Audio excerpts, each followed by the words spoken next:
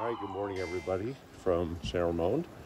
Yeah, our pool was nice and clean when we went to bed yesterday, but uh, with all the rain, the pool, even with the uh, the overflow going, still overflowing, and so uh, got some extra siphons going.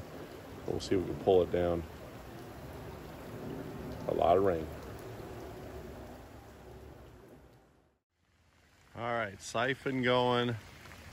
You can see the water right there. So siphon is going right there. Another siphon.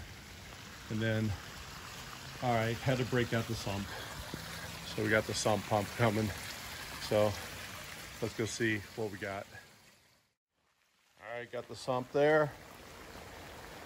And looks like we might have gained running for about an hour, about two inches. So, um, or an inch. So we'll see. Pretty full.